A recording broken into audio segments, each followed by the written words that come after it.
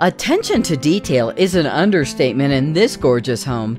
The living and dining room flow seamlessly together. The kitchen features stunning quartz counters and striking subway tile.